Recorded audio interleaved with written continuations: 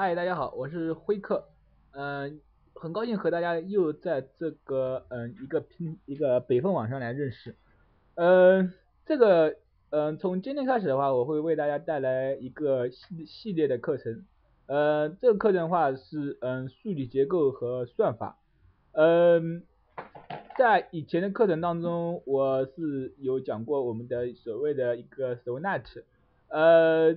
这节这个项目的话，我是来说我们的嗯数据结构和语算法。嗯，数据结构与算法的话，其实这算这也是一个比较嗯怎么说来着，也是一个比较呃古老的话题吧。就是说历来来说，如果说你编程的话，呃如果说你不懂一些数据结构，或者说你不懂一些呃算法的话，你永远只是做一些简单的循环、简单的 if else，或者说。Switch 或者说是一些呃简单的结构的话，其实你并不能说真正的去往你往你们的呃进行发展，或者说对你人生的一些编程的一个这样的经历的话，还是挺呃有一些障碍吧。嗯，其实这时候来说，嗯，这时候的话，其实你呃是你最主要的是，为了你要打下基础，或者说是一些呃想更往一些深层次，或者说一些嗯，怎么说呢？就就是说，你想更深入的去发展的话，你这个数据结构和算法的话，还是要必须的去看一看。这个东西的话，其实你不学也不行。是怎么说？呃，学的话对你的个人发展、各个或者是你编程的方面的或者思维的开拓等等来说，嗯，都是有很大很大的帮助的。呃，这话我们就是说废话，我们暂时也就嗯就不说了。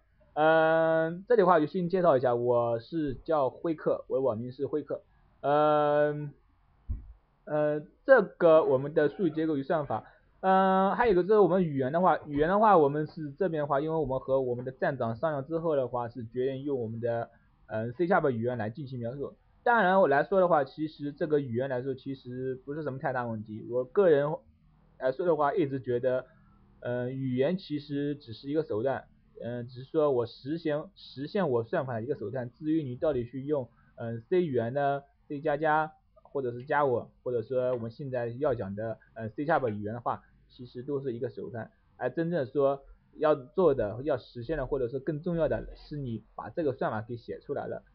因为现在对于来说，你点 net 写的内库或者点 net 写的算法，你加我也可以调用。你加我写的算法，我点 net 其实也是可以调用的。其实说。这个语言的差异和区别越来越被我们的所模糊化，嗯，这样的话我们就切入我们的主题吧。当然也是老样子，我们就说我们首先来介绍一下我们这个系列的课程大致的一个嗯一个结构吧，或者说一个课程的安排吧。当然这里的话其实也是怎么说一个算是一个比较大致的一个安排，其实。呃，我有时候下面我都没有写具体的课程按结束，其实主要是说我大致的说这整个的一个一节，我有可能是安排几节课。呃，首先的话，我们这节课，也就我们这节课来说，就是首先来说，我们有一个算法的指标瓶颈，就是说它有一个呃对应的一个时间复杂度和一个空间复杂度，就是说我判我去判断一个呃算法它的好坏的话是嗯主要从两个方面去进行考虑。嗯，一个就是说，呃，时间复杂度，还有一个来说，那就是空间复杂度。如果说在这两个复杂度的，嗯的基础上，评标指标都是说偏高的话，或者说偏好的话，那就是说我们一般来说就是从这两方面来进行评判的。呃，接下来的话，我会是为大家来介绍我们信息表。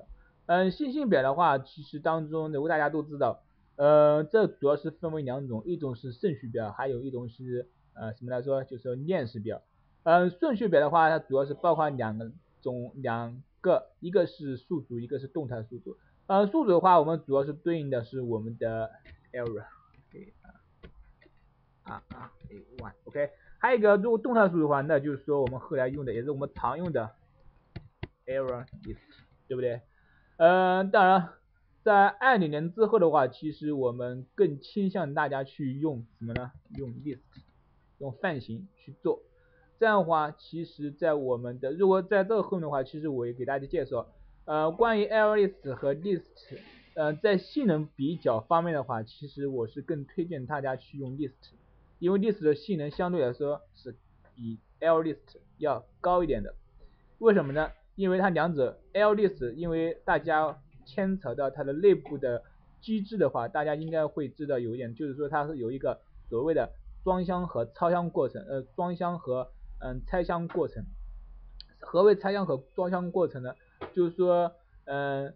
所有的数据类型的，它的所有的嗯点 net 当中，它所有的数据类型，它是继承于 object object 类型，呃是继承于，OK，这样的话我们，哎，我还是在我的大纲上面写吧，好吧，嗯，它是主要是记 object，也就是说点 net 所有什么所谓的 string int 或者说是什么其他等等一些数据类型的话，它都是寄存于我这个基类的，所以说。LDS 大家都知道，我这个如果说我去呃声明一个数组的话，我需要给它声明为成嗯 int 型、string 型或者说是等等其他类型，呃但是说一旦我给它声明为 string 类型的话，我这里面就只能放嗯什么字符串类型，对不对？但如果说我们后来大家很喜欢用 list 那是为什么呢？因为说我去声明一个 list 的时候的话。我不光可以往这个 list 里面去插入我的，呃，我现在假如我现在是声明的一个 list，嗯，类型的数组，这时候我往这个 list 当中不光去可以插入 int，也可以插入 string，就是说它这个里面储存存储的是什么类型呢？它存储的是 object 类型，所以说这时候我们怎么办呢？就是说。所以说我们大家就是说，呃，它的包容性比较大一点吧，所以说大家有时候说更喜欢用这样的，当然这个也比较方便一点，因为这个我去用数组的话，我必须在我数组，嗯，建立的时候去声明我这个数组的，呃，大小，对不对？容量，嗯，但是这个 list 话就不需要了，我去动态的去添加的，对不对？但是大家如果说看过一些，嗯。点 net 的一些源码的话，大家都知道，呃，朋友会，如果大家都看过一些源码的话，大家都知道，其实微软的点 net firework 呃，点 net firework 当中实现 error list 的方法，其实是用 error 去实现的，它只不过说微软把这个一个 error 去用我们的一个呃给分装起来了，分装成一个这样的一个 list，呃，方便给我们用。我们有所谓的 add 方法或者 remove 方法，都是更多的是说被微软给分装了。嗯，当然这样的话，其实大家说了这半天，大家其实不是太清楚。这样的话，我我给大家看一下啊，嗯，这个大家这个工具是比较好的，大家去可以下一下。我让我相信大家如果说点这做点赞词一些操作的话，大家应该是都应该会有这这个工具嘛。如果没有的话，大家去百度、哥哥里面去搜一下，肯定会有这个比较很棒。这时候我们去 search 一下。我们的 a r r a y error a a y error list，OK，这时候的话我们双击它，OK，这时候点一下它那个 disable，这时候它的所有的方法都会显示出来。呃，这时候我们这个里面所对应的 ldist 就是我们点 net framework 当中呃 ldist 的实现方法。首先它有这两个 type，对不对？然后跟着后面它有这一系列的什么东西属性，然后 char 这什么东西构造函数，对不对？当然它有好几种构造函数，这就所谓的什么重载，对不对？然后跟着后面它有这些一系列的方法 add，比如说 list add 怎么实现的？首先它是判断这个数组的长度是不是等于这个长度，如果不如果不等于的话，那就去给它。就说明这个数组的呃容量变小了，所以说我需要给它增容，就是说把这个数组扩大，对不对？扩大之后的话，它有个 v 呃温循就是版本，版本的话就是说，因为考虑到线程的安全性嘛，呃这如果说到线程安全性的话，大家有可能会要再说一下 for 和 for each 的区别了，啊这样的话我在后面课程会说，哦暂时就是先跳过，好吧？呃接着往后说的话，呃我们会受到一个增加，对不对？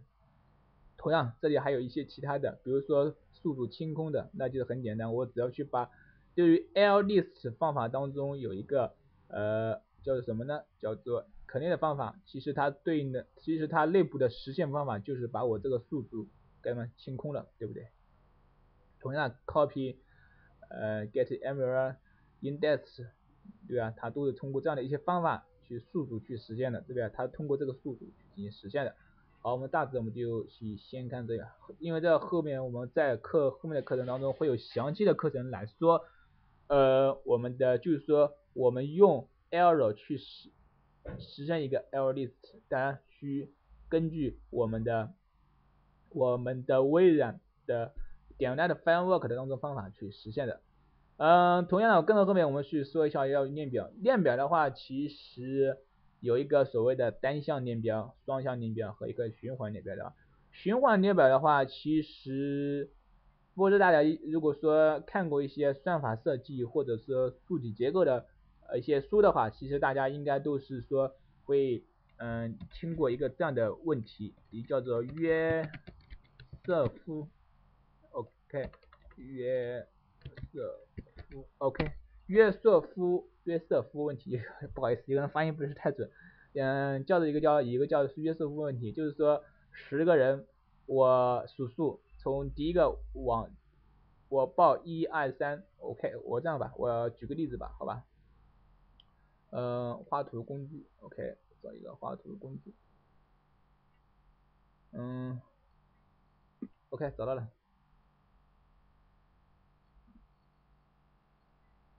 呃，我这里一、二，OK，我画十个人吧，啊，三、四、五、六、七，好吧，就是说我七个人从一二三开始报，然后一二三开始报，再一再一二三，这样循环的开始报，OK，这样报，每当报到第三个人的时候，他出列，然后他再出列，然后第二圈我们再报的时候。他是不是报？因为这个末尾的话是一，对不对？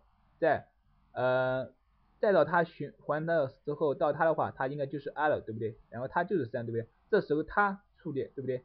然后这时候我们到它再报一，它报二，OK？它报二的话其实也是没有问题的。然后再循环，哦，再是到它报三，然后它出列，对不对？于此循环下去，谁最后一个出列？对不对？啊，随着这个出来呢，那很简单，然后我们再我们人为的再去走一下，OK，然后这里的话是三出列了，对不对？然后这里再到是一，然后这边就是二，这边就是三，对不对？然后这边的话他再出列，然后只剩下这两个人，对不对？这两个的话就是他还是一二三，对吧？然后他就出列了，最后出列是谁？最后他不出列，对不对？也就是说剩下来的时候是他们都出列了，然后还剩下他一个人，对吧？这个问题就是一个很经典的一个呃约瑟夫问题。约瑟夫问题的话，其实呃主要是当然这是一个比较有名的问题吧。当然在我们的后面的课程当中，呃也会说用一个算法，用我的所谓的嗯循环列表这样一个结构去存储一个这样的呃数据类型，或者说算出一个方法吧。嗯嗯，大致的就是说。我们一个这样结构就可以用这样的一个嗯循环列表去做的话，相对来说是比较简单，也算是比较呃也算是比较一个一一个优的方法吧。嗯，接着我们后面的课程的话，我们会呃当然说完列列表的话，肯定有一定要说对嗯对战和队列，对不对？嗯，队列的话，其实大家应该都知道，嗯一个先进先出。对吧？后进后进后出这样一个规则，对不对？嗯，当然这样的话，我们其实也会带大家用我们的自己去写一个队列和堆和站啊。当然这个写的方法也是参考我们的简单的 framework 当中的堆栈的实现方法。嗯，同样的话，我们再往后面，再往后面的话，我们是一个要讲到一个串串的话是一个基本方法，呃。串的基本方法，其实这个的，如果我相信，如果大家编过一些程的话，用的最多的一种数据，呃，数据类型，数据类型的话，应该就是 string 吧，对不对？当然，string 类型的话，一个大家问的一个比较多的，也算是一个经典的问，算是经典，但是应该是问的一个比较多的问题吧，就是说 string 它到底是属于引用类型呢，还是值类型，对不对？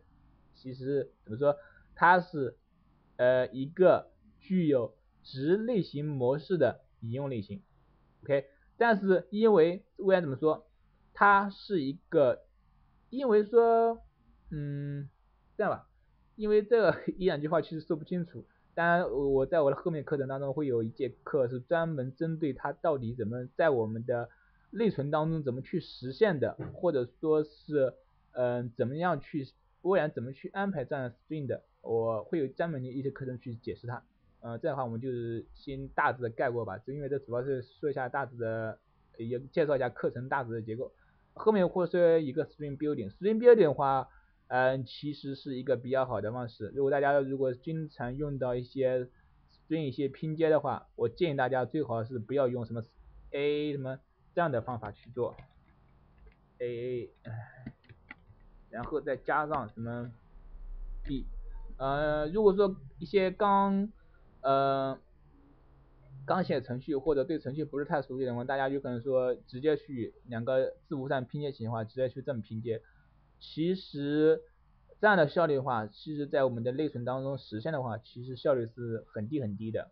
呃，建议大家是用 string building 去做，这样的话，呃，string building 它直接是可以在我的内存当中去进行拼接的，而不而不会说做一个所谓的 copy 一个这样动作。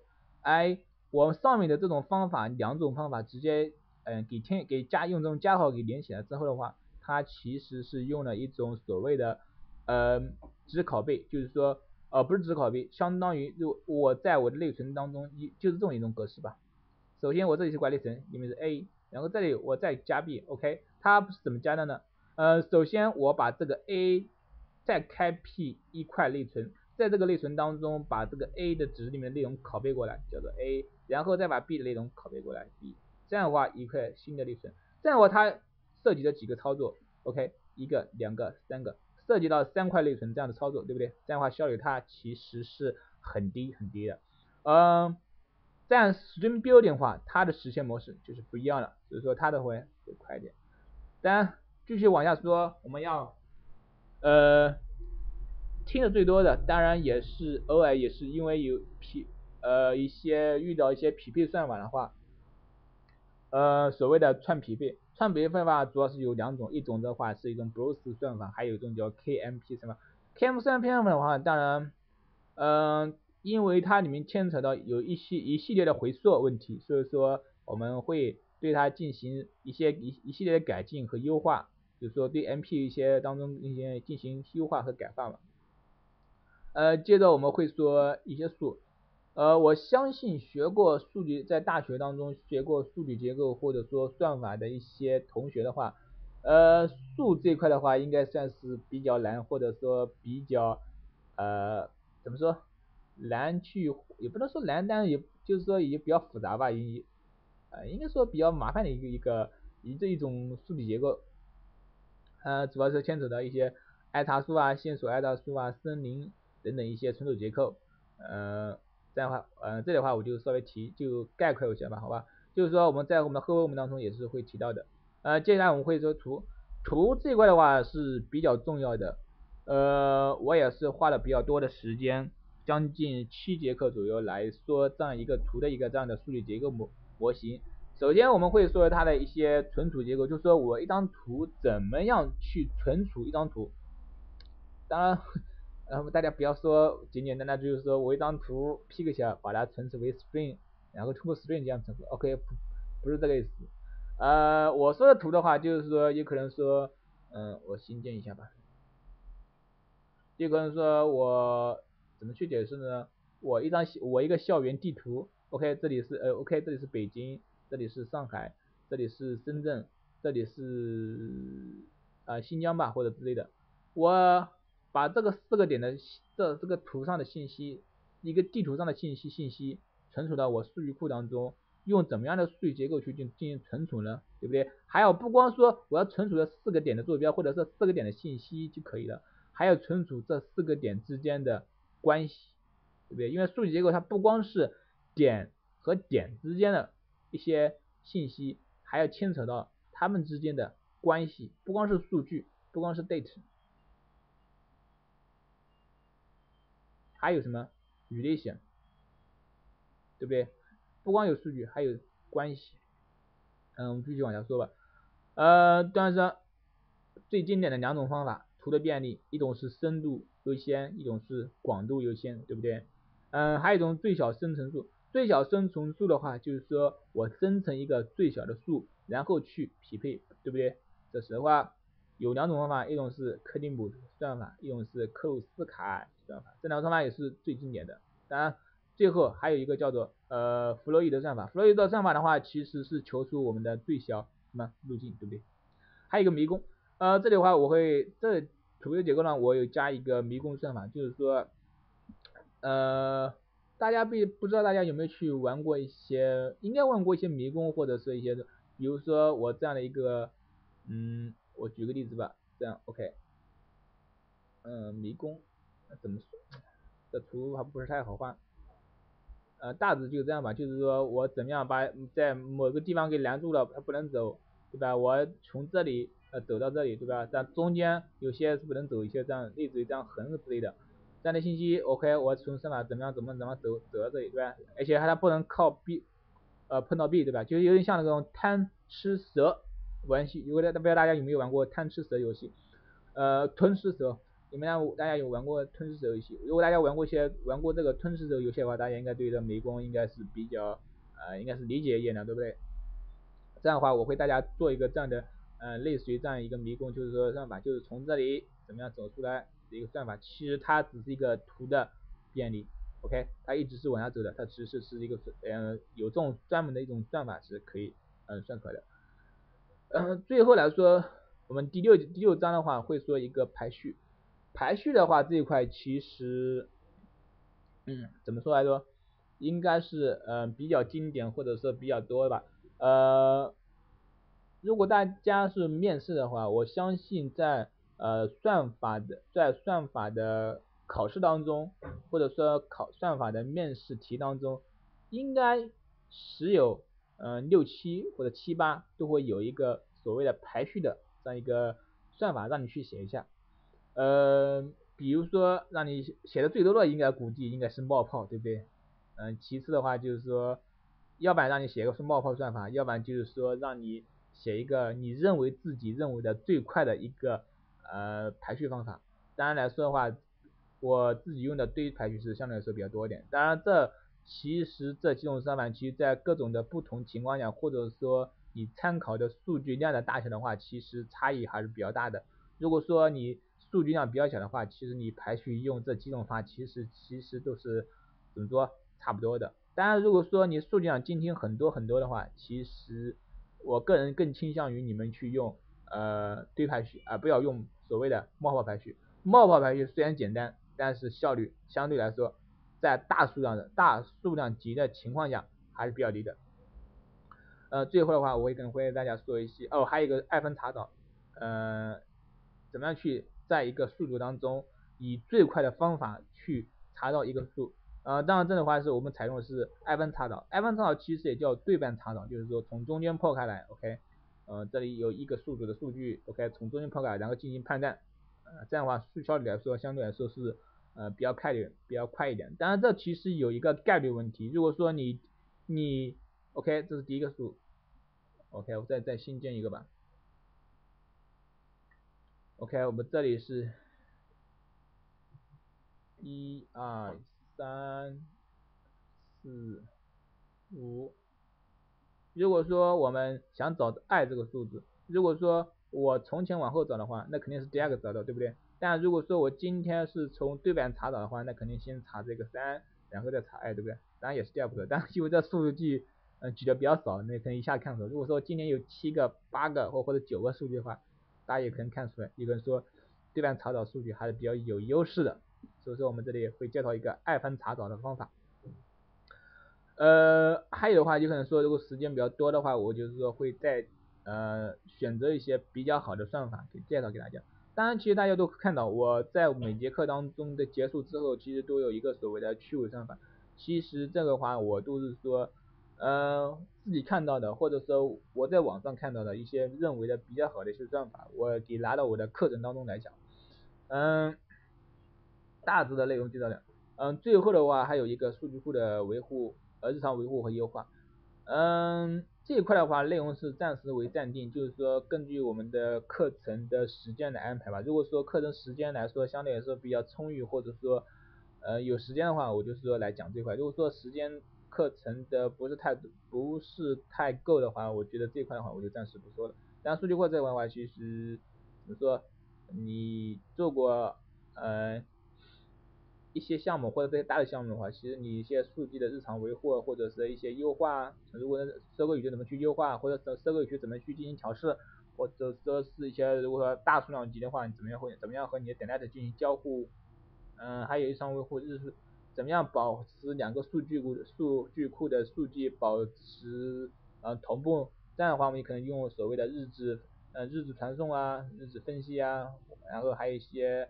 呃，订阅发布或者说镜像这样的方法来进行我们的呃数据库的保持它们同步的更新吧。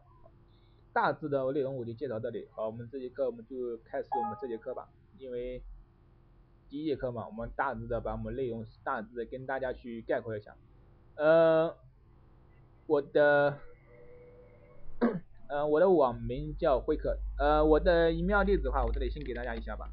做 ah 杰克 email 点 com，嗯，如果大家有意见有意见或者说对算法数数据结构和算法这块比较感兴趣或者有什么问题的话，大家都可以说嗯发邮件给我，嗯，当然如果大家有也可以去上北风网的论坛里面有一个叫做北风论坛里面有一个对讲师答疑，OK 在这里。嗯，辉哥讲师，大家也可以去这里面给我留言，呃，我会尽快的回复大家，好吧？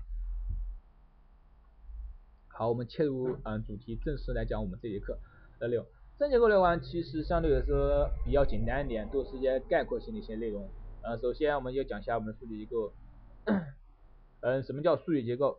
呃，数据结构刚讲也刚才也和大家说了，它不光是有一个数，它不光是有一个数据，它还有一个。嗯，就是说我点和点之间，就是说，什么叫结构呢？就是说我怎么说？这样吧，我再画张图吧。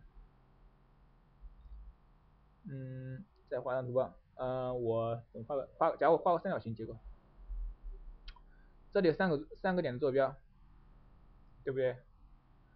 嗯，这三个点的坐标的话，我不光要知道。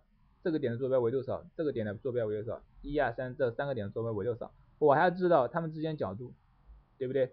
角度表现为什么呢？就是这三个点之间的关系，对不对？如果说我今天我要存储一个这样的三角形的话，我不光要存储它们之间的呃顶点，也要存储它们之间的角度。当然有人会说，我今天存储了它们之间的呃顶点的话，我完全可以根据它们三个点的顶点来求出它们之间的夹角的度数，对不对？当然也可以是可以算出来，当然作为一个好的存储结构的话，我个人说更倾向于把它角度也存进去，这样以后我算起来，以后用的时候就方便起就方便了，不需要每次我用的我用角度或者求并集的时候，我需要啊再再再求是这样的角度，那样的话就是呃没有太太没有太大意义的。其实这里也提供了。体现了一个所谓的用空间换时什么换时间的一个这样的一个概念，就是说我多花了一样的多花了一点的呃空间或者内存或者硬盘来换取了我计算时间，对不对？就是我把这东西存储到我的硬盘，存储到我的内存当中，这样的话我在计算的时候就不用去计算了，对吧？等我换取了时间，呃。主要是数据架关系，对不对？数据结构，嗯，下面，嗯，就是说我们的数据结构逻辑结构，它又包含哪几种？哪几种关系？呃，首先一种话呢，它用集合关系，集合，嗯，什么关系呢？这就是首先它是集合关系，那集合关系什么意思呢？就是说所谓的我是包含一种这样的关系，就是说。嗯，OK，画个圆，点点点，就是我一个大圆，你们包含是三个点，这就所谓叫了集合关系，对不对？包含在里面。嗯，还有第二种，第二种线性关系。线性关系刚才有说它有分成叫做什么？呃，线性的，那就很简单，一条线，对不对？跟着它的名字来说，一条线，OK。这里相当于一个链表，对不对？一一个点，第二个点，第三个点，一个链表关系，线性的，对不对？像一条线一样。还有一个是，呃，数结构。树结构的话，就像我们所谓的爱差数啊，或者说是满爱差数啊，或者等等之类这样一个数的结构去陈述。数结构学的很好解，就是像我们的，嗯，在浏览器当中里面，OK，我跟你讲，对吧？其实它这个就是一个什么呢？对吧？数的结构存储的。嗯，接下后来还有一种结构，就是图结构和网状结构。图结构和网状结构的话，就是说我们刚才有提到一种图，对吧？就是说我整张如果给你一幅中国地图，我中国地图怎么去存储起来？其实这个来说的话，它就是一个图结构，对不对？呃，我们接着往后说，它有个存储结构，就是说我一个数据，一个数据的。给你一张表，或者是给你一张图，或者是给你一个这样的存储结构，你怎么样去给存，或者说你给你一个嗯结构，你怎么去给存储起来呢？呃，存储的话，其实你有很多的存储和结构方式。首先，你有说所谓的顺序存储结构，顺序结构不不明思义，它其实就是说按顺序去进行存储的，就是说，呃，我第一个数组，假如说我这里有个数组，呃，第一个元素。第二个元素，第三个元素，第四个元素，OK，第五个元素，我就是按顺序这样一系列的去往下存储的，对不对？如果说链式的，那就不一定了，那有可能说我这里是第一个元素，这里是第第一个元素，我再画五个元素吧，OK，有可能这里是第五个，这里才是第二个，这里是第四个，这里是第三个，因为它是这么去进行存储的，OK，二三。四，对吧？这样的话，它存，如果我是用我的数组在我存储的话，它在我的存储当空层当间，它是连续的一块内存空间，对不对？但是说，我换个颜色吧，大家看清楚一点。这个我还真不知道它这个颜色是在什么样色。OK，找到，在这里面。如果说我对应我这样的一个链式的存储结构的话，呃，它其实在我的内存当中，它的存储结构就不是顺序的，对吧？一个人说我在这里一块内存，在这里又分了一个内存，在这里分，它是零嗯零星散整的一系列内存，对不对？然后它通过这样的一个指针给链接起来的，对不对？它通过指针给链接起来的。呃，还有一个是索引结构，OK，它其实跟我们所谓的 dictionary 就是字典类，跟那个还有 hash table 那样的，就是说一个下标，然后就说我对应的 OK，这个下标为一号，这个下标为三号，这个下标为二号，这个下标为四号，这个下标为五号，呃，对应的我 OK，一那就是等于一 A 二三等于二，对不对？它就跟着这样一个下标来进行，它其实就像我们翻字典一样，对应一个索引，然后对应一个值，一个索引一个值，就我们所谓的 hash table 或者是定向类这样的一些嗯结构去进行存储的。散列方式，散列方式我们在后面会提到，这块我们就暂时不对它说了。呃，还有一个数据类数据类型，数据类型一个原子类型，原子类很简单，那就是所谓我们的嗯系统所提供的，那就是怎么说呢？大家嗯想一想，所谓的原子类型，那就是说它不可分解，原子嘛不可分解，对不对？所以说它是一种是不可分解。那不可分解的话，那是什么意思？那就是说对应到我们数据 C sharp 语言当中的话，那就是对应到我们所谓的字符型啊、整整数型、嗯符点型啊，像这些类型，它就属于是就属于原子类型的。还有一个结构类型。结构类型的话，它就 struct 对吧？struct 的话，你我人为的去可以进行去定义，对不对？就是说我可以去定一个类，或者说我去一个 struct，struct 的名，嗯，年龄多少，名字为什么案例为什么等等，对不对？就有点像类一样的感觉，对不对？它是这样一个结构类型。那我们继续往下说。呃，继续往上的话，我们就说一个，嗯，就是说也是这节课的重点吧，就是说，嗯，一，我们怎么样去评价一个算法的好坏？首先，我们需根据一个时间复杂度，还有一个是空间复杂度。当然，这两项的话，一个时间复杂度，一个空间复杂，这两项是最重要的。呃，当然还有所谓的什么健壮性啊、可读性啊，等等等等。那里那那个那个的话，其实 相对来说也是，呃，相当于这两点来说的话，其实相对来说稍微次要一点吧。然后主要来说的话是这两点，一个是时间复杂度，一个是空间复杂度。呃，时间复杂度的话，嗯，我这里。我就先写个例子吧，好吧，我们打开我们的 VS，嗯，我这里就随便新建一个，嗯，控制台应用程序吧，OK，我这里的话就第一个项目，那就是说，嗯，那就说第一个，呃不不不，application number one。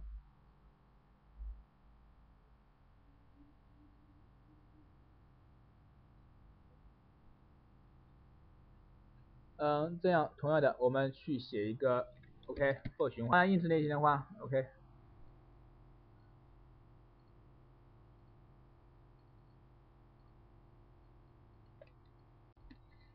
嗯，这样的话，我们去写一个计算从嗯零从一到五十的这样加起来等于多少？那应该是我给大家写过，应该是 OK for 一等于五十。好，我们首先去定一个 total 吧。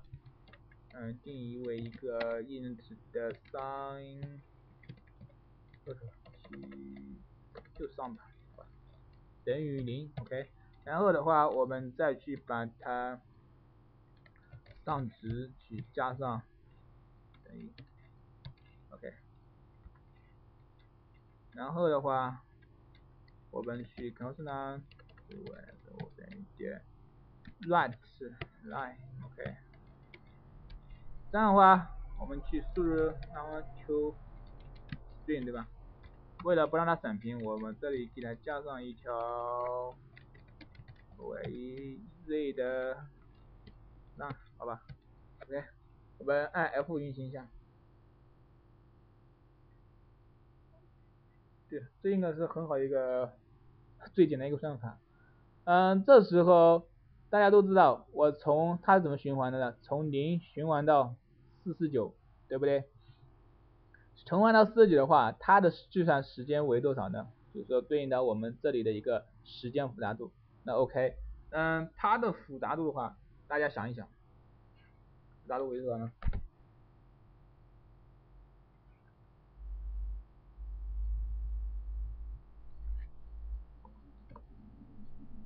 首先，我们这里有个怎么去呃算的时候，怎么怎么去看一个呃时间复杂度呢？首先，我们对一个这样 for 循环，呃 for 循环当中它所包含的基本操作怎么样？首先去给它进行分解。首先，我们去把它有一个这样的操作，i 等于一，这是一个赋值。赋值的话，它干什么呢？执行了一次操作，对不对？这时候它相当于它需要一定的时间，对不对？它因为它这个从把零复制到 i，它需要一点时间，所以说再执行一次。呃，跟着往后，当 i 小于五十的时候，它执行多少次？四十九次，对不对？第五十次它不会执行，对不对？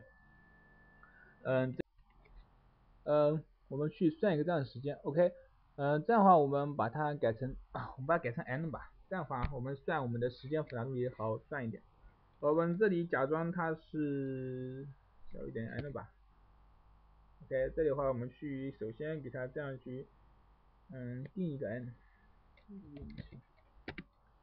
等于，呃，一百吧，啊，我也可以把 n 去说你从外面获得的，嗯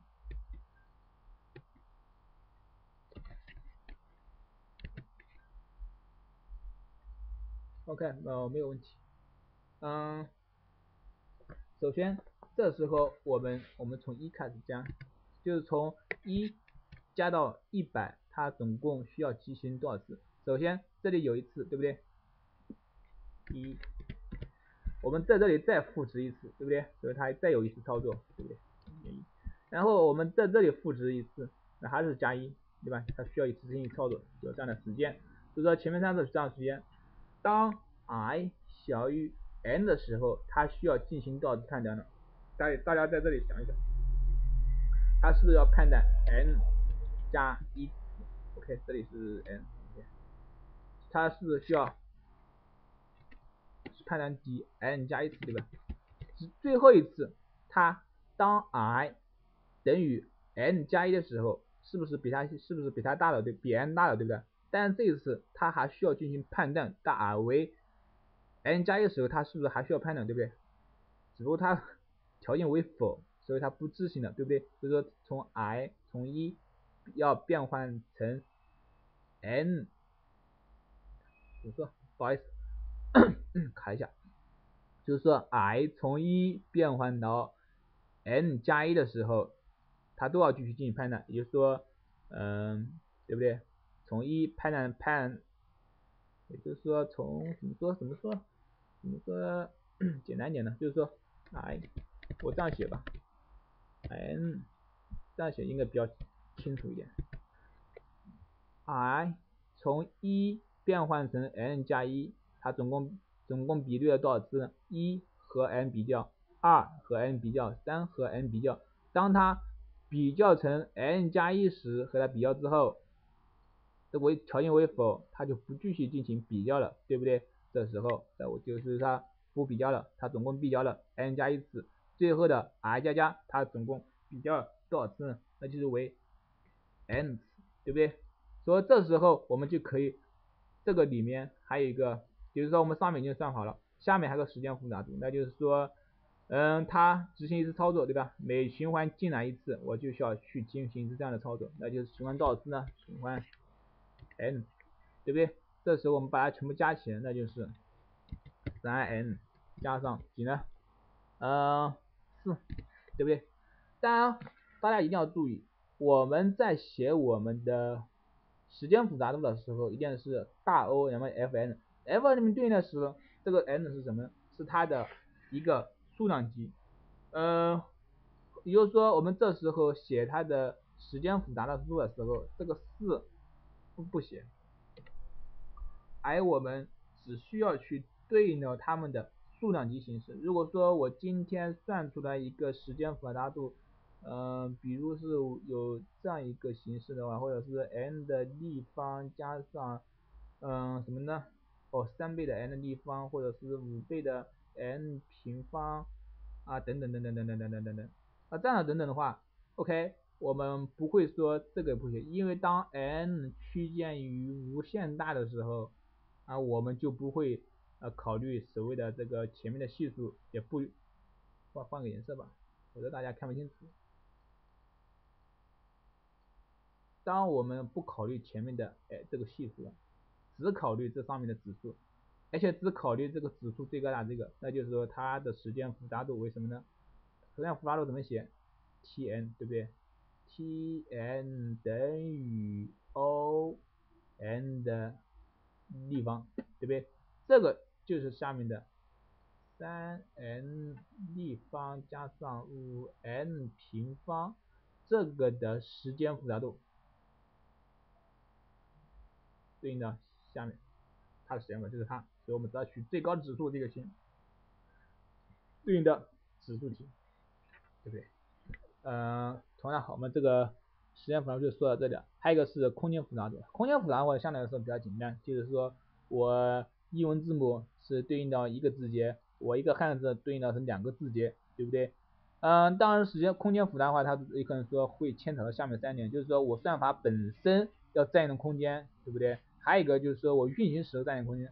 嗯，所谓运行时占用的空间，就是说我有可能这些数据存在我的硬盘当中，当我执行某个算法时，我需要从某个硬盘当中再取些一些数据到我的内存当中来进行运算，那。我这部分所占用的内存的空间也算在我的呃算法的空间复杂度当中，还有最后一个就是说运行的临时算所占用的空间，这一部分的话，呃就有点像是我的那个嗯叫什么那个嗯冒冒泡排序，呃就是冒泡排序当中不有个 temp 嘛，就是说我 a 值和 b 值，它们要进行互换互换位置操作的话，那我岂不是，那我这时候，我再重新新建一个吧。a 值和 b 值，它们俩之间要进行换位的话，OK，冒泡排序一般都怎么写呢？那我们都是首先这里先给它一个 temp 值，对不对？把这个 a 值复制给为 temp，然后 b 值复制为 a，然后再把 temp 复制为 b。所以说这个 temp 它这个 temp 它就是我们所对应的当算法当中的一个临时占用的空间。所以说我们在计算我们的呃空间复杂度的时候，怎么说？一定要记住，包含这三个部分，主要是包含这三个部分所占的空间。呃，OK，呃，我们看下面，OK，我们大致的话，我们这节课内容就嗯大致的说到这里吧。当然，如果说我也不敢说，因为这节课的话，有些内容也呃前面的话，我们主要是把大致的一个整个课程的一些。内容给呃大致的过了一遍吧，当然大家如果说对我这门课程有什么想法或者有什么意见，嗯都可以去上网站给发给我，呃或也当也可以给我发邮件吧，好吧，呃我们今天课程就说到这里，好吧好吧，嗯谢谢大家收听，嗯拜拜。